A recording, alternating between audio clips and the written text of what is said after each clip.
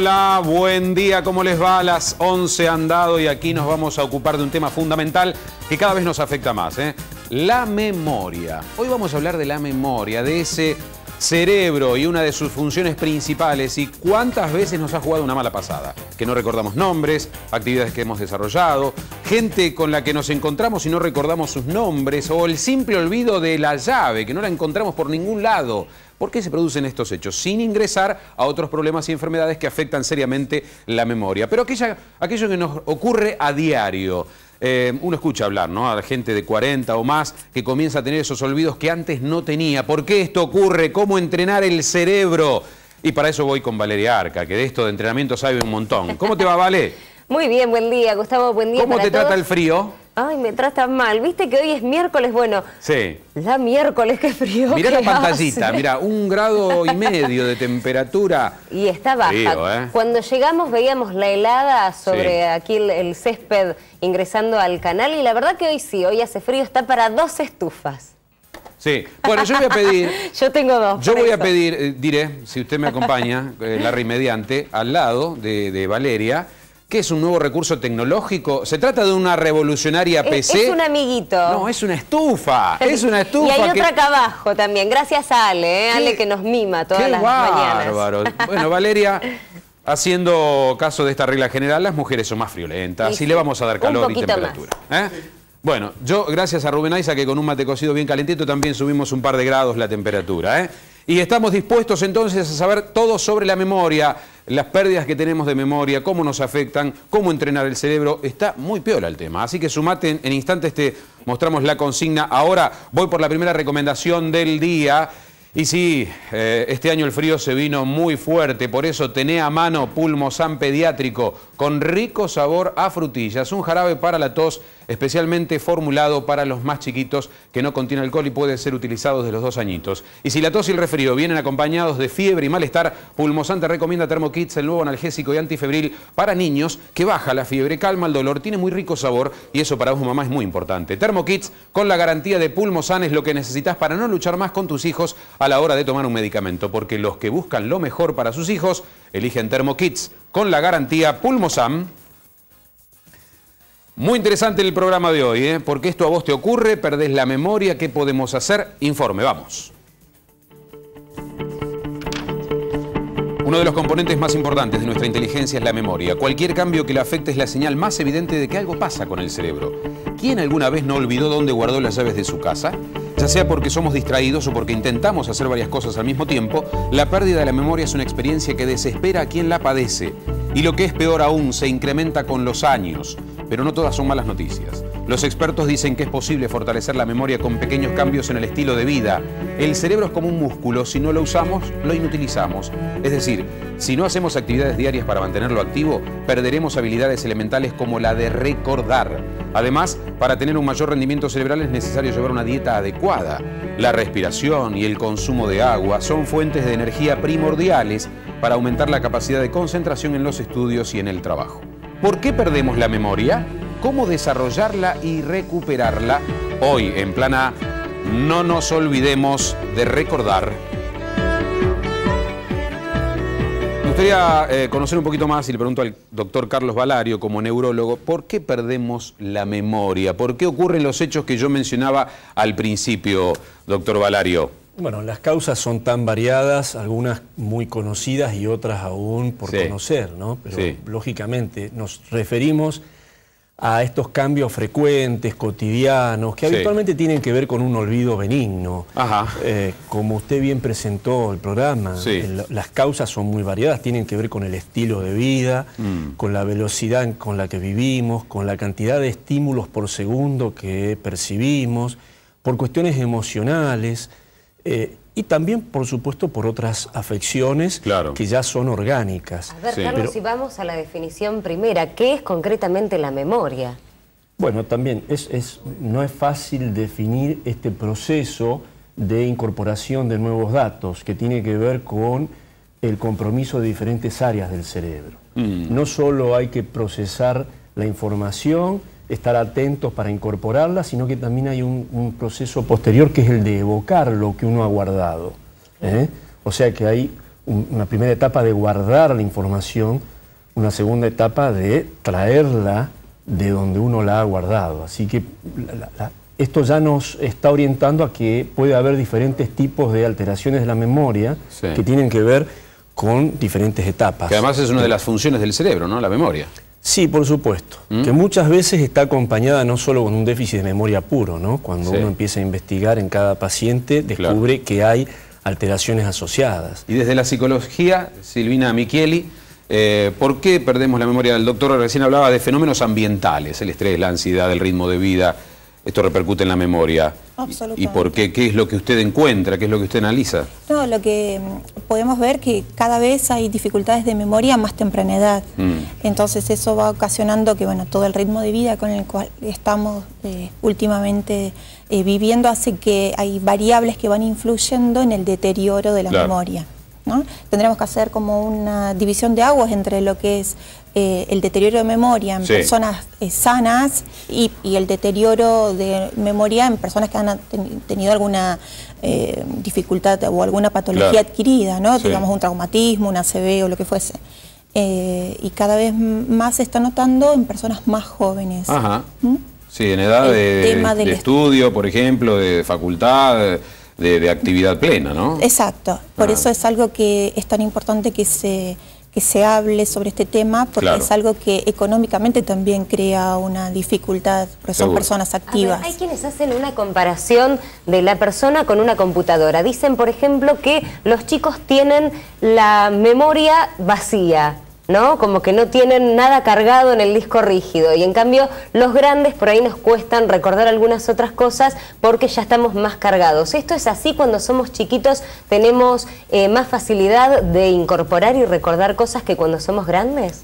Bueno, en realidad eh, hasta cierta edad uno tiene cierta velocidad de procesamiento y aunque parezca mentira, a edad temprana de la vida empieza uno a perder esta capacidad de conducir impulsos nerviosos a cierta velocidad. Eh, pero no se pierde la posibilidad de ir incorporando nuevas redes neuronales, eh, hablando en términos de computación. Eh, con los años uno adquiere nuevos programas neuronales. Mm. Y esto es lo que podríamos llamar el aprendizaje, la experiencia, la buena experiencia. Entonces uno puede perder en velocidad de procesamiento, pero puede ganar en nuevos programas y nuevas redes neuronales que nos permiten no solo reemplazar esta velocidad perdida. Y, esta estimulación a la que están sujetos todos, adultos y, menores, pero sobre todo la que planteaba Valeria los chicos, eh, tanta PC, eh, internet, eh, los videojuegos y su relación con la memoria. ¿Lo estimulan? ¿Es un problema a futuro? Carlos, ¿cómo Es que puede haber una dispersión de estímulos. Una cosa es tener una información y el cerebro estar concentrado en tratar de adquirir esa información. Claro. Y otra es saltar en milésimas de segundos de una información a la otra. Y eso, no es bueno. Eso no es bueno y no se puede grabar correctamente, no se puede hacer un proceso de guardado de la memoria correcto. Porque cuando uno habla de entrenamiento, ¿eh? planteemos que el cerebro es un músculo, hay que entrenarlo, no es a lo loco estar frente a la pantalla 8 horas, 10 horas por día, ¿no? No, porque además en eso también juega la motivación. Ajá. Esto yo lo escucho todos los días, ¿no? Pero doctor, a mí me está fallando la memoria y todos los días hago crucigrama. Sí. ¿Le gustan los crucigramas? No, los odio. Ah, entonces no funciona. De esa forma no funciona. Arrancamos eh, mal. Digamos, bueno, es como tomar la sopa. buscar algo que nos dé placer. Eh, por supuesto, hay que ver, hay que pensar en la historia de cada persona. Porque pasa, eh, Carlos, que siempre sugieren lo del crucigrama. Y tal vez usted tenga otros ejercicios originales que no, no, tengamos en cuenta. ¿Cuáles podrían ser algunos Bueno, de pero es que justamente para eso hay un equipo de evaluación de la persona. A veces si el déficit de memoria es mínimo, eh, es la persona que se queja todos los días de que se olvidó el nombre, pero a la media hora se lo acuerda.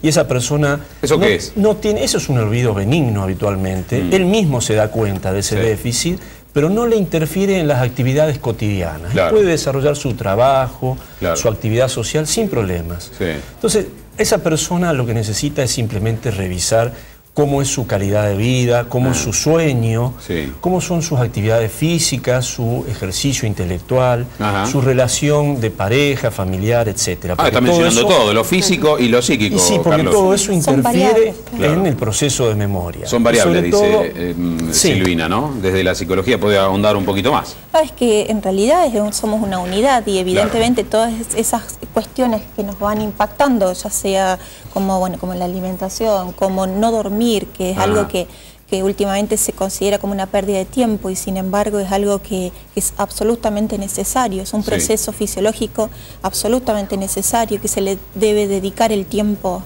necesario mm, de las descanso, buena alimentación, ejercicio físico, esparcimiento, vida social, es algo que que se debe tener eh, en cuenta por el hecho de la estimulación de la vida social claro. es absolutamente Por contrapartida tenemos mucha gente hoy pensando cómo llega a fin de mes, cómo afronta los gastos de los hijos, de la familia, cómo crece en el trabajo, cómo se las arregla con el jefe. Estoy pintando un panorama estresante, diría, ¿no? Eso, eh, Carlos, también tiene vinculación, la pérdida de la memoria, memoria benigna, como decía recién, ¿no? Sí, por supuesto. Por eso, eh, retomando el tema, eh, uno le recomienda a la persona que tiene un déficit de memoria, que sobre todo está perjudicado por estas cuestiones de la vida diaria, bueno, es modificar un poco su hábito de vida, ¿no? Pensar en estas cuestiones que hacen a la salud en general.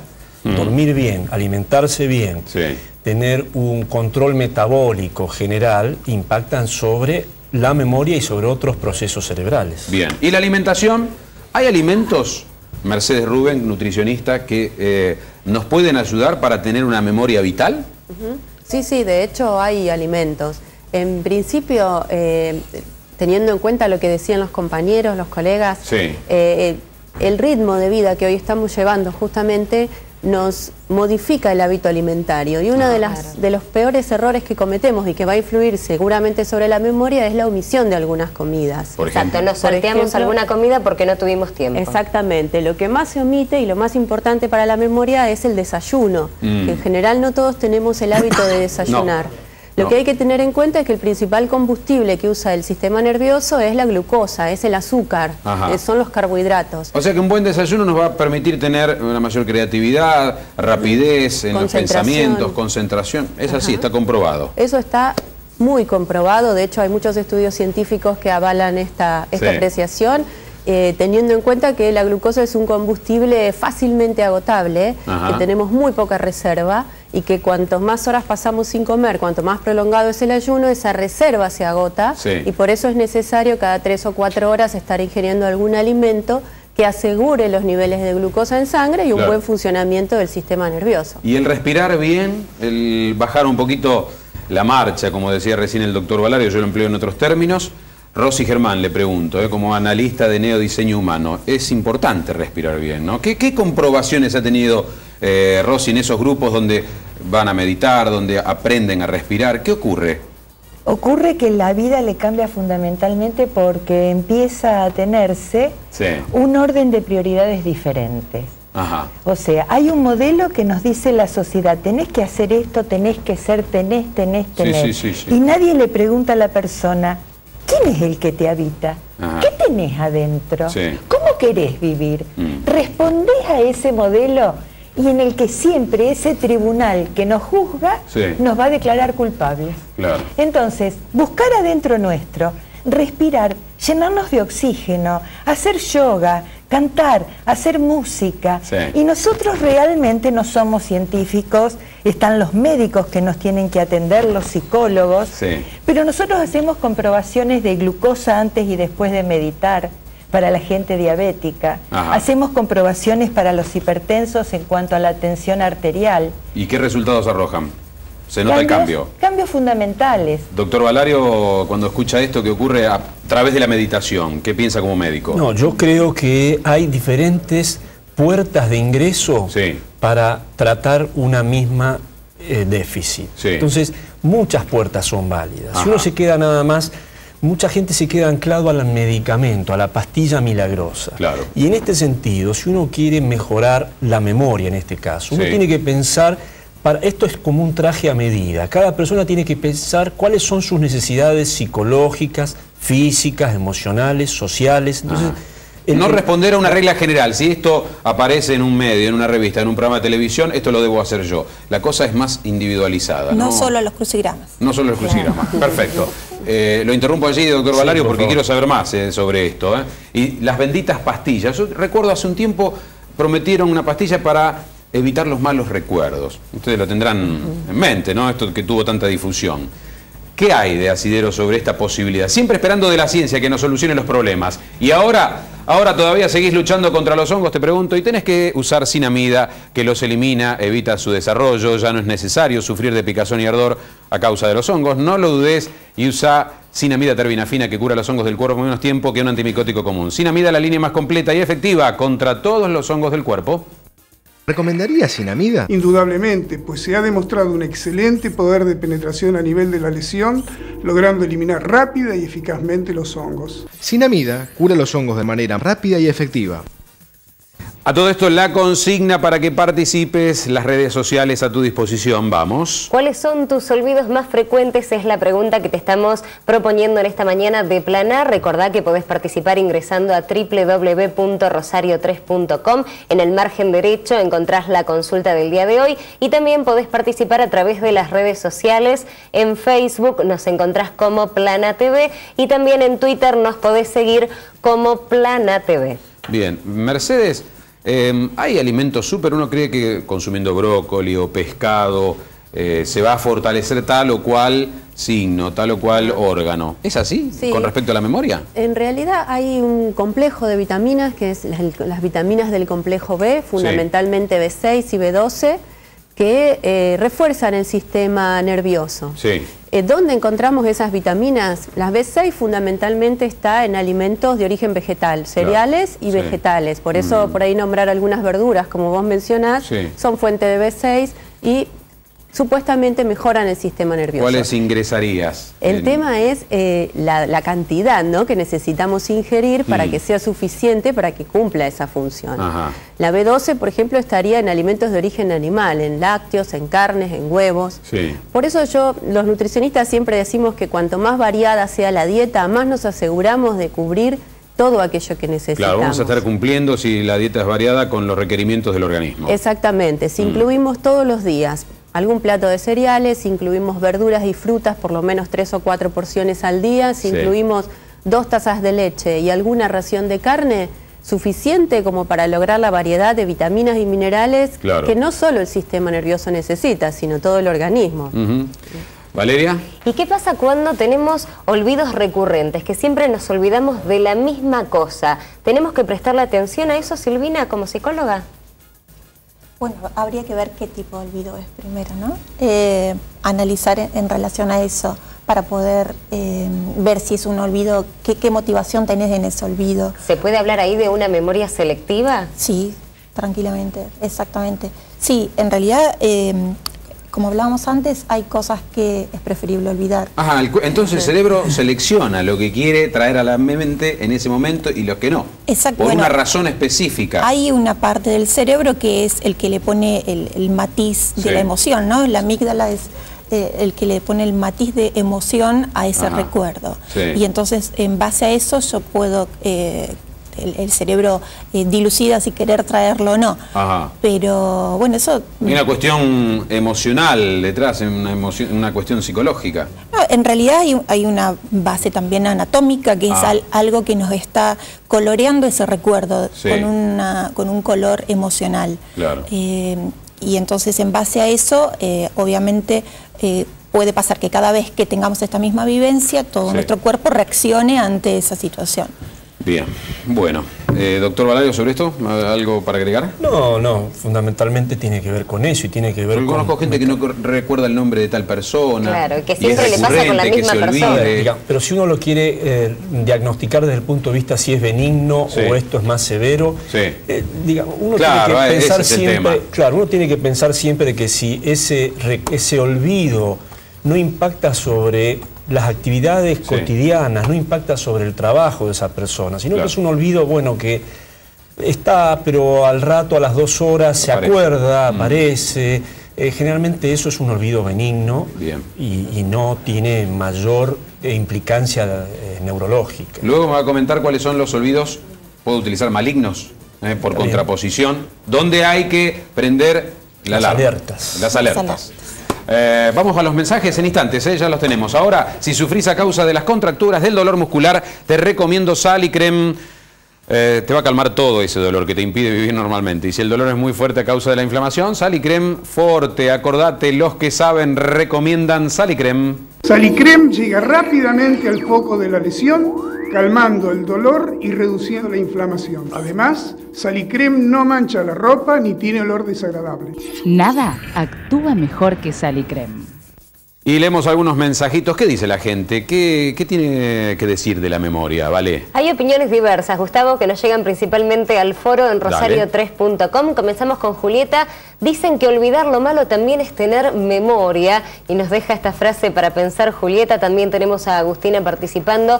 Me olvido de pagar los impuestos en término y luego tengo que pagar recargo. Pero soy muy responsable en el trabajo, nos aclara Agustina. También tenemos por acá a Susana. Tengo 62 años y cada vez me olvido de más cosas.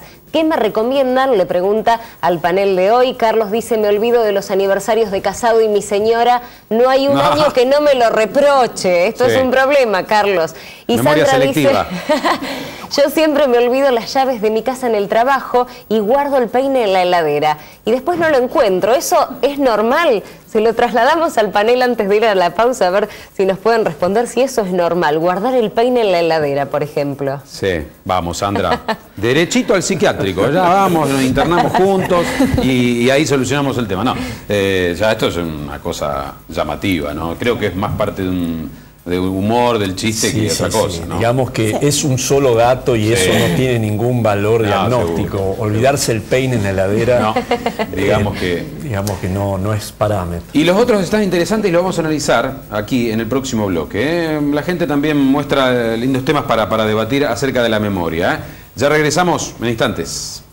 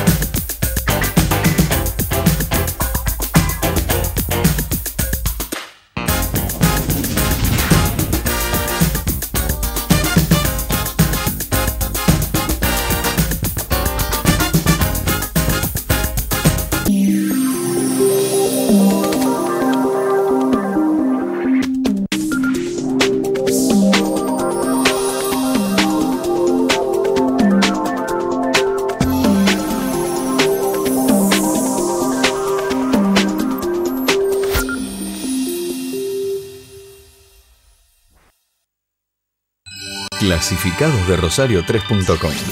La forma más fácil de vender, comprar, buscar y ofrecer todo lo que necesitas. Publicás más simple, mostrás mejor y lo haces gratis. Clasificados de rosario3.com. Cada vez más, todo el día, todos los días.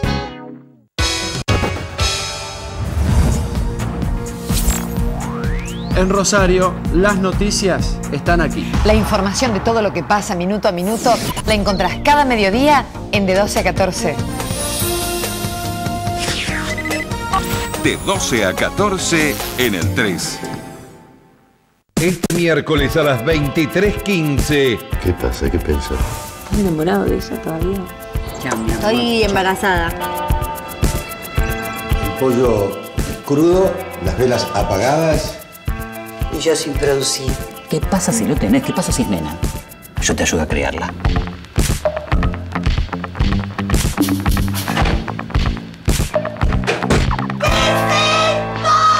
Condicionado. Yo sé todo lo que pasa acá. Sé todo porque estoy pendiente de cada uno de ustedes. ¿Sabés qué vas a hacer, abuelo? Una familia al desnudo. Este miércoles a las 23.15 en el 3.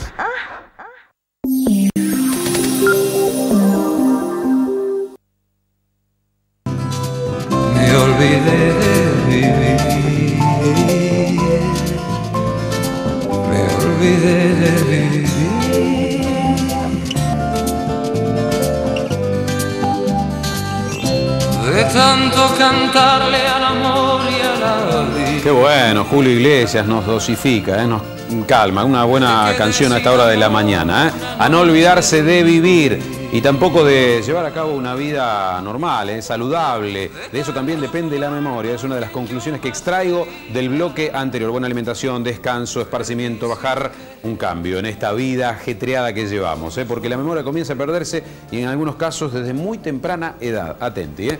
Pero mira vos, justo viene Susana Piris con un buen consejo, hablando de disfrutar, hacer turismo, eh, elegir uno de estos destinos que por estos días te propone Susana Piris. Europa, México, Perú, Medio Oriente, Asia con salidas grupales y acompañadas. Es una muy linda época para viajar y te lo propone la empresa que te garantiza la máxima seriedad, que además forma parte de Lufthansa Center, como en 80 países del mundo las mejores agencias de viaje. Esto distingue también a Susana Piris Viajes y Turismo, que la encontrás en Palacio Minetti. Muy bien, vamos a tener una comunicación en instantes. ¿eh? Esto del cerebro como músculo, cómo ejercitarlo, eh, para no perder la memoria. ¿Es así en instantes, Valeria? En instantes, Gustavo, una comunicación desde Buenos Aires con Néstor Braidot, es un investigador y es el creador también del primer gimnasio de la memoria cerebral en Latinoamérica. En, un ratito qué consiste esto? ¿En qué consiste? Y lo va a contar justamente él, el profesional. Bueno, em, Carlos, hablábamos en el bloque anterior de esos olvidos que sí hay que prestarle atención. Eh, ¿Cuáles serían? Claro, una cosa es, como habíamos dicho, que alguien olvide algo y a las dos horas lo recuerde y él mismo se dé cuenta que está fallando un poco en la memoria.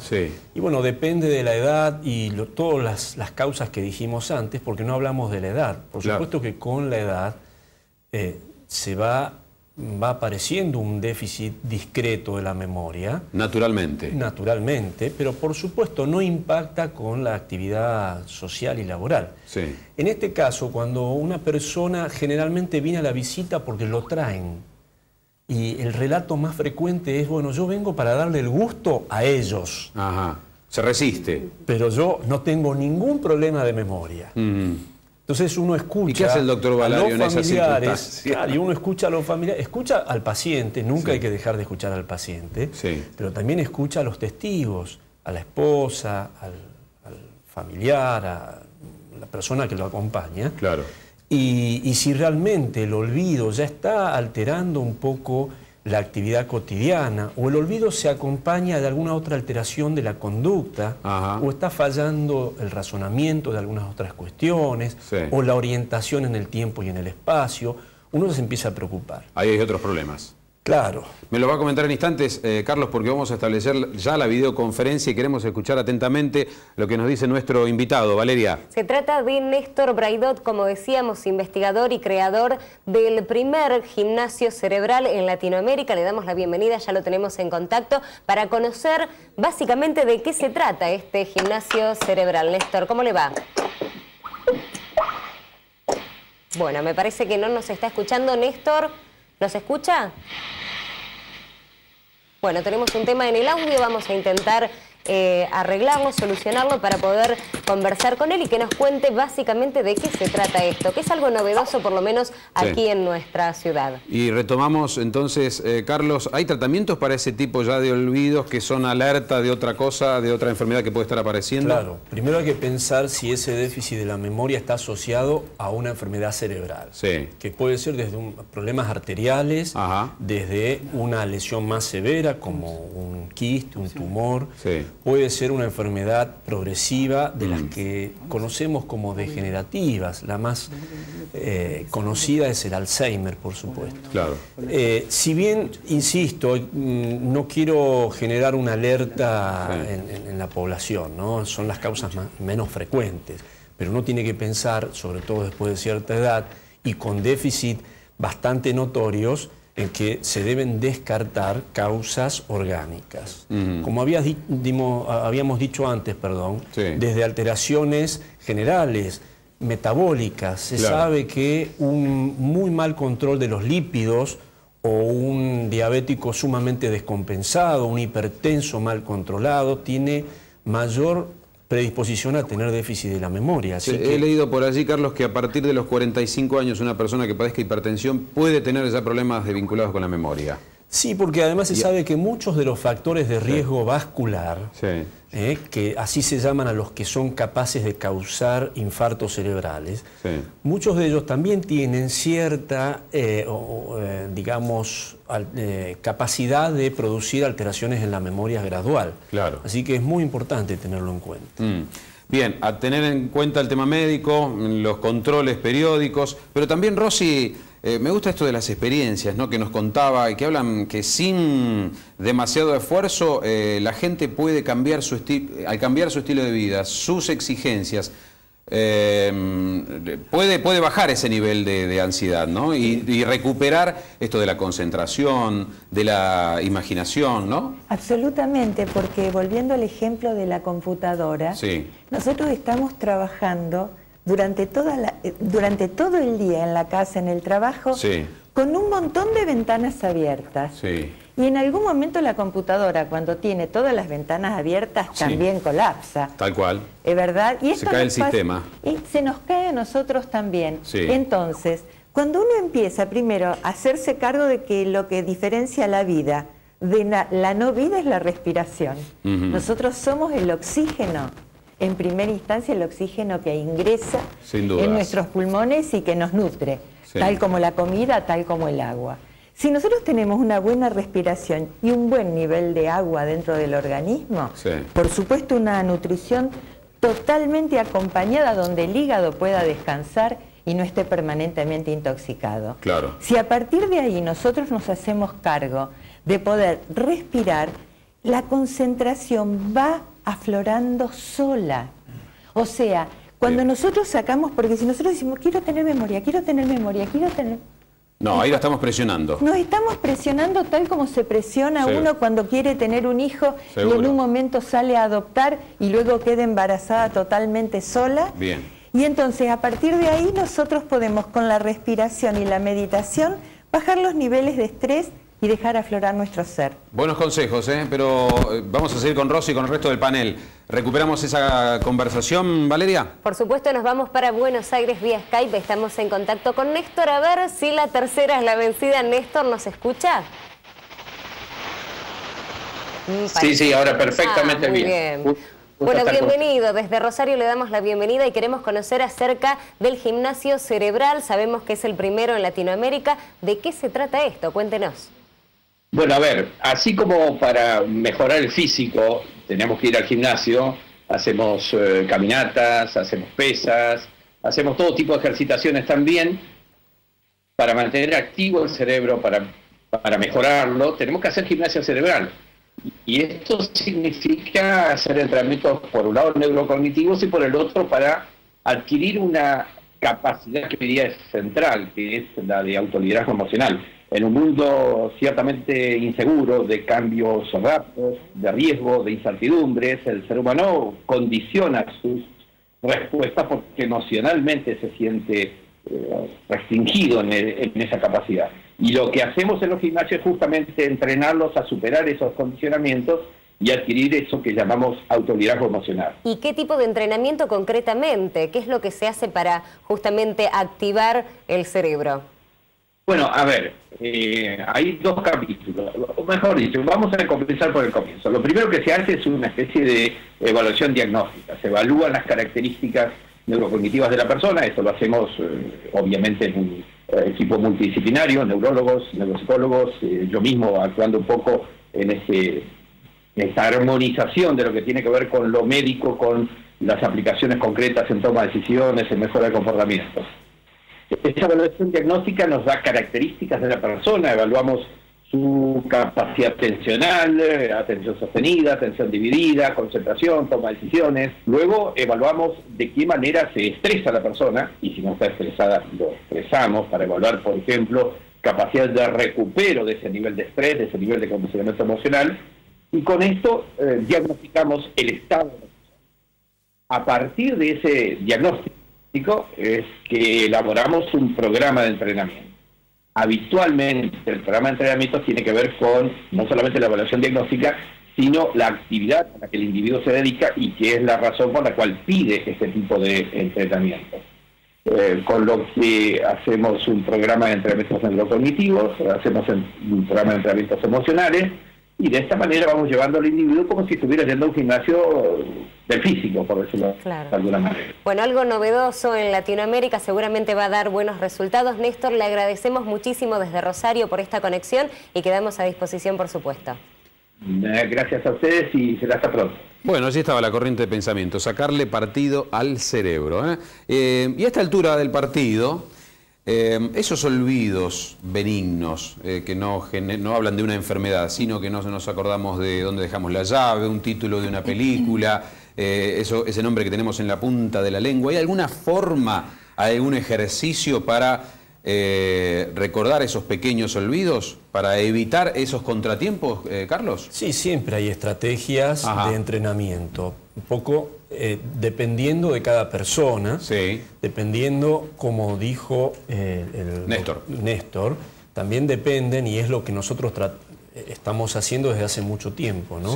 de hacer una evaluación previa de cada persona ¿eh? para no darle una receta común a todos. Se suele decir muchas veces, porque está desconcentrado, porque no, no, no, está prestando atención a lo que se hace en ese momento, la mente que fluye. ¿Tiene algo que ver con estas consecuencias, esos olvidos sí, sí, por supuesto. menores? Sí, son olvidos menores y es importante tener el concepto de que esto no es una pérdida de la memoria, tal vez es una disfunción reversible de la memoria. Claro. Entonces hay que empezar a pensar en diferentes estrategias, desde eh, entrenar la memoria, pero insisto con el concepto de que depende cuál es el déficit de cada persona y sobre todo por qué se le da a esa persona el déficit.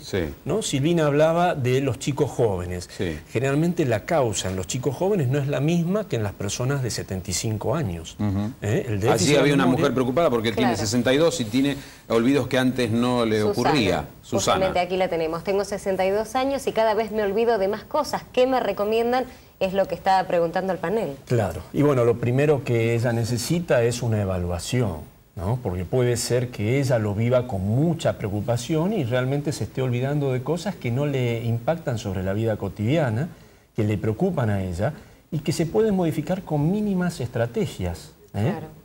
Pero no lo podemos saber hasta no indagar un poco más. pueden llegar a ser en general esas estrategias? Tal vez para cada caso iría una estrategia eh, adecuada, ¿no? Valeria quería aplicarlo ya, antes que le ocurra. Eh, para yo, yo le leo la mente. bueno, a ver, para aplicarlo antes, uno puede hacer un trabajo preventivo que tiene que ver con cuidar el físico en general, como dijimos, cuidar las emociones y empezar a hacer una actividad física, porque se sabe que la actividad física también impacta sobre lo que es el desarrollo de sinapsis cerebrales. La he visto correr en el Parque Urquiza y bastante seguido. Muy bien, o sea que la está cumpliendo. Bueno, para ahí vengo bien. Perfecto. Claro, tengo una tildada para bien. Y lo otro que se sabe es que, por ejemplo, personas que en la infancia no estuvieron escolarizadas tienen más chances de adquirir una alteración de la memoria severa en la edad adulta. La falta de entrenamiento temprano. La falta de entrenamiento temprano y la falta de entrenamiento en toda la vida. claro, también nos encontramos, Carlos, con personas a lo mejor de más de 90 años que les preguntamos de su infancia, de su vida, y se acuerdan de absolutamente todo. Y decimos, ¿qué memoria que tiene a pesar de los años? ¿Estos casos son frecuentes o no? Eso es lo habitual. Recordar lo, antiguo, lo, de los primeros ah, años y no lo reciente. Exacto. Mm. Lo que más falla habitualmente con los años es lo que tiene que ver con la memoria reciente, ¿no? Ajá. Bien, eh, primera mm, pregunta de ese bloque, me gustaría recordarla. Valeria, ¿la puedes leer? Sí, dicen que olvidar lo malo también es tener memoria. Esto lo propone Julieta para que podamos debatir también. Olvidar lo malo también es tener memoria. Rosy, ¿qué te parece esa observación que hace Julieta? Olvidar lo malo también es tener memoria. Olvidar, suprimir. Yo creo que naturalmente el cerebro nos ayuda a olvidar, porque si tendríamos en la mochila todo lo que no nos gustó y que nos pasó, seguramente viviríamos mal. Pero creo que nosotros no podemos vivir la vida mirando por el espejo retrovisor. Tenemos que mirar por el, vidrio de delante del coche y marchar. Claro, es ese poder de resiliencia, ¿no? El poder de resiliencia y además eh, creo que podemos también hacer una redefinición. Mm. si los problemas son problemas o temas a resolver. Y cuando los hemos resuelto, generalmente los resolvemos, mm. nosotros adquirimos experiencia y somos como más potentes para seguir resolviendo. Claro. La vida no se puede ver viviendo, mirando para atrás. Está el adelante. ¿Y qué piensas, Silvina, de la gente eh, que como Julieta quiere suprimir, ¿no? Esto, esto, ¿Por qué no existe la pastilla que me permita olvidar estos malos recuerdos, estos traumas? ¿Qué pensás? ¿Qué sugerís en esas circunstancias? Y psicoterapia. Tratamiento. Y porque en realidad, eh, bueno, las, vivencias que nos han ido pasando, a pesar de ser traumáticas, hay, hay que afrontarlas. Claro. ¿No? Eh, por ejemplo, lo vemos muy eh, habitualmente cuando bueno, una persona eh, sufre un accidente de tránsito y su vida cambia rotundamente de un día para el otro. Y bueno, entonces ahí hay que trabajar sobre, sobre eso, sobre sus capacidades de afrontamiento ante esa adversidad y trabajar para, para poder salir adelante y recuperar eh, todo su, potencial. Claro, y no hay eh, respuestas iguales. ¿eh? Hay gente que se recupera, otros que les lleva más tiempo. Exacto, porque y esto va influyendo sobre el tema que hoy nos convoca, que es la memoria, que es la concentración, ¿no?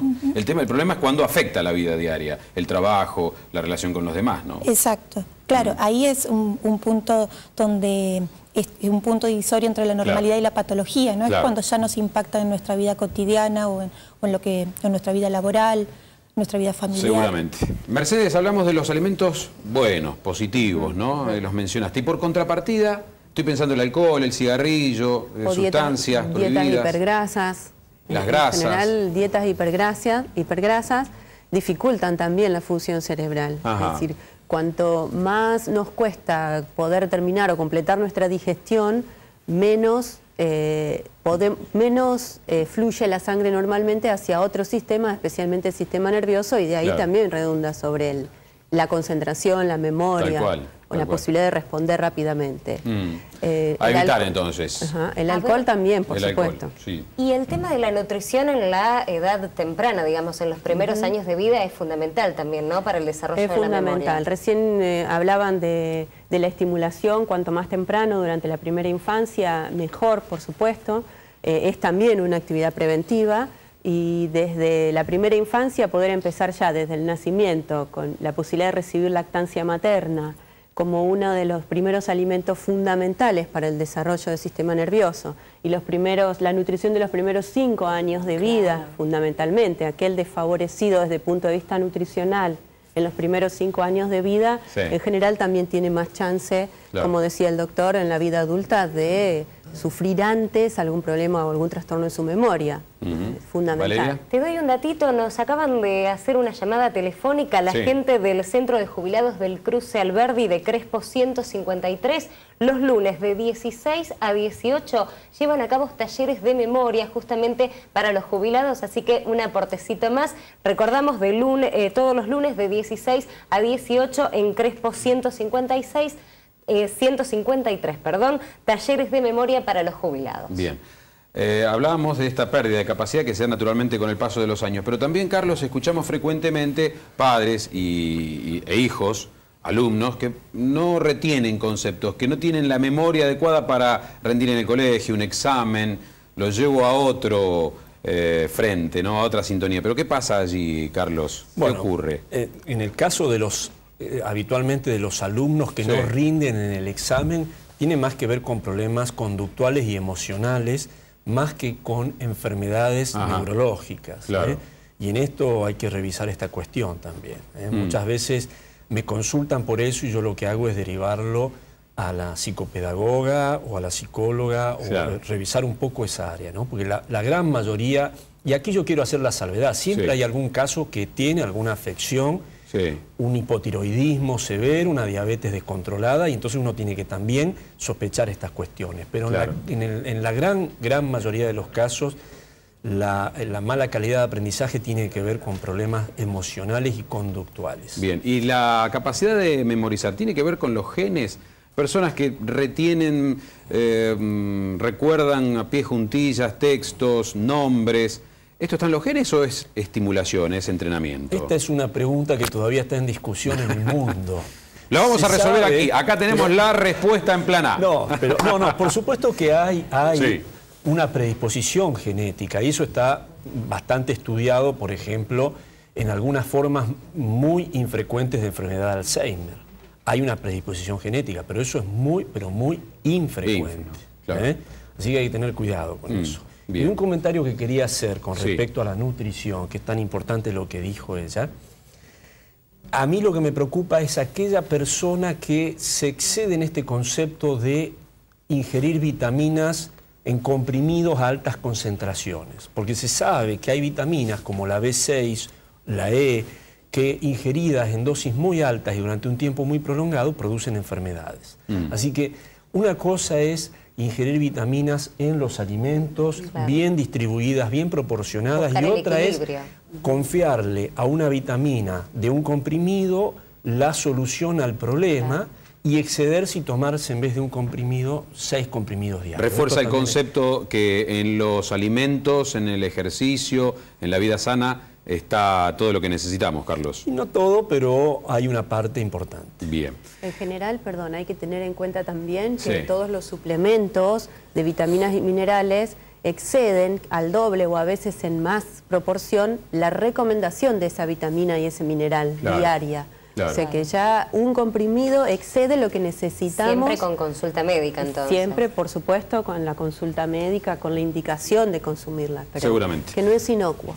Bien, valen las recomendaciones. Ahora tenemos que ir a la pausa, vamos a leer mensajes, pero si hace rato que estás pegado a la pantalla de la tele o la compu, seguro estás necesitando coliria. Haceme caso, pedí en la farmacia coliria, alivia el enrojecimiento de los ojos cansados instantáneamente en un abrir y cerrar de ojos. No dejes de hablarlo con tu oftalmólogo, seguramente te lo va a recomendar. Coliria se vende exclusivamente en farmacias como todo medicamento de confianza.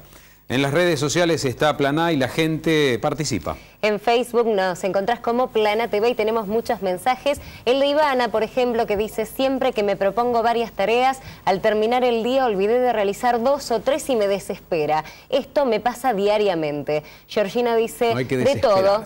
Me olvido prácticamente de todo. Sabrina dice, tengo 25 años y siempre olvido las actividades que tengo que hacer durante el día y al terminar el día o al otro, o si estoy haciendo otras cosas, me acuerdo que fui para hacer otras y me doy cuenta de que eso uh. no era lo que fui a hacer. Sabrina. Bueno, sí, es un, matete. Claudia nos dice, tengo 38 años y últimamente me olvido dónde dejo el celular. Solo me pasa cuando llego a mi casa. Soy mamá de tres mm. varones y uno es adolescente, pero hago las cosas cotidianas y tengo que estar atenta al llamado del celular y me olvido dónde lo dejé, ya que lo mudo constantemente de lugar. ¿Este olvido es normal? Es lo que pregunta Claudia en este caso. Claudia está preocupada. Ahí tiene tres varones, la actividad Un adolescente. De la casa. ¿Eh? Carlos. Ya Gustavo ya hizo el diagnóstico. Sí, me parece. ¿Eh? Comparto, Claudia, ¿eh? algunos problemitas. Además que muchos de los mensajes lo que hay en común es algunas cuestiones que tienen que ver más que nada con la organización y la planificación, que no es solo memoria. A veces hay, uno dice, me olvidé de algo, pero en realidad es porque, perdón, porque en realidad eh, hubo una desorganización en esas tareas que yo debía hacer o en dónde dejé las cosas. Eh, para los problemas de la memoria siempre lo, lo, más indicado es ser ordenado y organizado en en, las actividades que uno quiere desarrollar y especialmente el orden en hacerlas, la jerarquía. Y mucha exigencia también escuché por allí, ¿no? Me parece, Rosy, dijiste. Nosotros, tenemos una absoluta exigencia. Hacer, hacer, hacer, programar en el día 20.000 cosas. Somos maravillas, varones maravillas, estudiamos, trabajamos, mamás perfecta, casa ordenada. Claro. ¿Y nosotros cuándo? ¿Y nosotros? ¿Eh? Bueno, es la pregunta que queda en el aire flotando, a reflexionar y a la pausa ahora ya volvemos.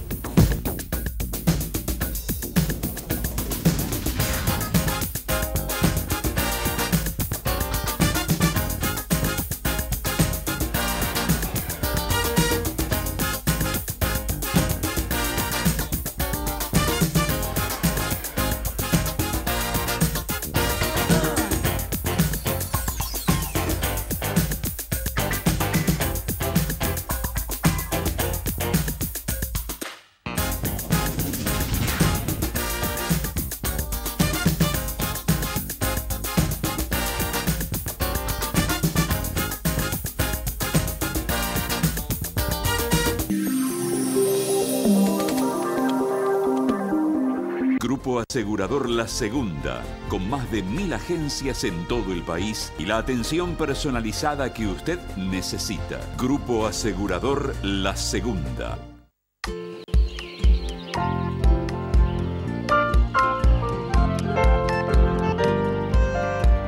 La educación es uno de nuestros recursos más valiosos.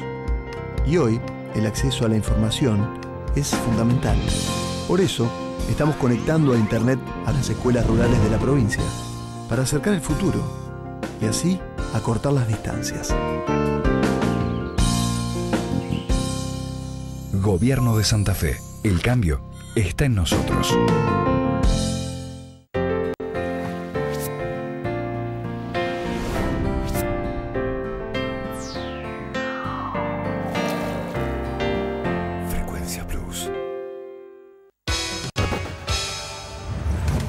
Personajes más destacados de la cultura, la política, la economía y el espectáculo dialogan con Alberto Lotú. Toda persona que no ha bailado nunca en su vida no tiene la idea de lo que ha perdido. Estoy seguro que va al médico, a la farmacia, tiene que comprar remedios. La danza es un desintoxicante tremendo, te, te, dan unas ganas de vivir, mira, tremendo. Dicen que dicen. Este miércoles a la medianoche en el 3. Este sábado a las 15. ¡Bienvenidos a la cocina del show! ¡Dale! Prepárate para una tarde increíble. Para divertirnos, entretenerlos, pasarla bien. Lo sabemos y nos hacemos cargo de nuestra responsabilidad, que es sí, entretener. Con amigos, música, nuevas historias y un montón de sorpresas más. ¿Ok? Todo lo que vos querés para divertirte en familia está en La Cocina del Show. ¡Un sábado! ¡Mágico! Este sábado a las 15 en el 3.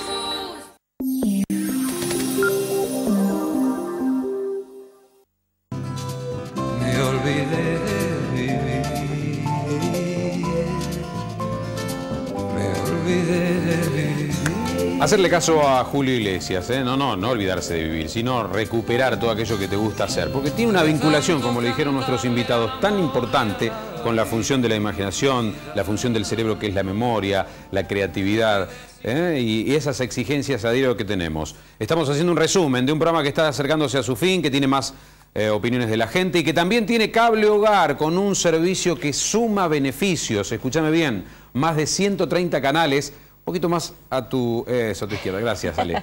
Cable básico, televisión digital, HD, porque si no estoy mirando para otro lado no queda bien.